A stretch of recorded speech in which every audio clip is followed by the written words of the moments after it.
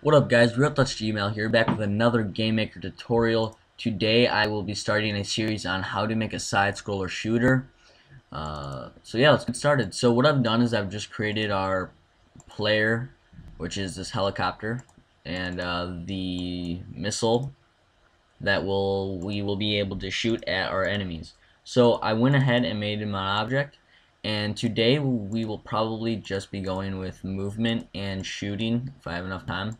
So I'm going to be doing the same movement I do in pretty much all my tutorials.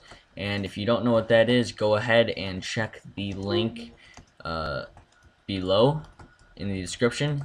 And um, that will bring you to a tutorial there. But for now I'm just gonna go ahead and pause the video go ahead and put in all the uh, movement and I'll be right back Okay guys, I am back and what I have done is just pretty much created simple movement. So I'll go ahead and show you what it looks like. Uh, and you see it goes back and forth. And you see how the uh, the helicopter kind of rotates a little bit? Uh, so when I go back it kind of goes back and forward. I just kind of put in the helicopter effect there that a, a real helicopter would have.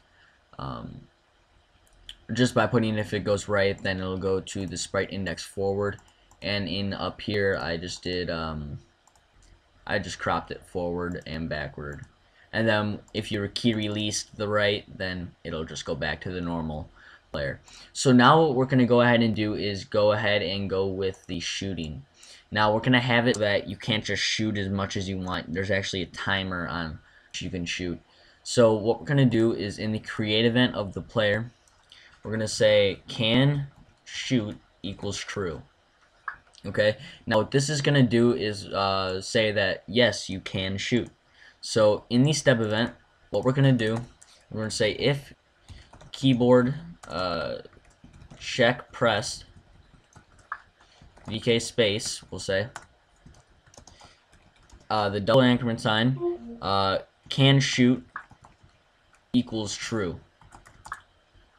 Um, so now, if that equals true, it's going to uh, instance create uh, x comma y comma obj uh, bullet. Um, and then it's gonna set can shoot to equal false.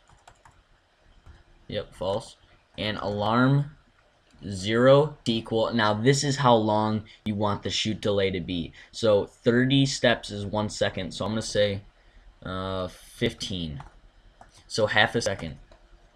So there we go. So now in alarm zero we set can shoot equal true. And let's go ahead and create the object bullet. And for the OBJ bullet in the create event, we're just going to go ahead and set H speed t equal 10. Alright, so now what that's going to do is it's just going to, uh, when it's created, it's just going to be going to the right and we set a delay for the shooting. So let's go and test it out now.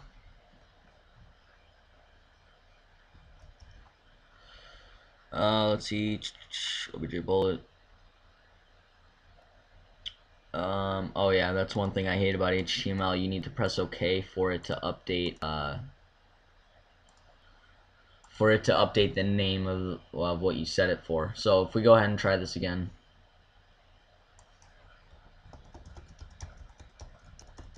So you can see I, am pressing my spacebar very fast and it's only bringing out this limited uh, supply. Now you see it's kind of um, coming out of the uh, like you don't really want this. It's coming out of like the uh, the pilot's the cockpit of the of the um, helicopter and we don't really want that we kind of want it to come from the bottom because that's where missiles are stored so what we can do here is in the step event uh, where it says x comma y. In the comma y we could do like plus 15 that might be enough. So that's going to create it 15 pixels down from the origin of the sprite or the object. Okay so see that's a lot lower. We can probably tweak that some more but that's a lot lower. So yeah I, I hope you guys liked this tutorial of the part one. Um, in later tutorials we'll probably put a particle system on the uh, missile so that it looks like uh, like smokiness and fires coming out of the back. And um, we'll start creating enemies and uh, you know score systems and all that. So yeah. Um, go ahead and subscribe. Leave a like if you like this video. Go ahead and um, subscribe. And uh, yeah I guess I will see you guys next time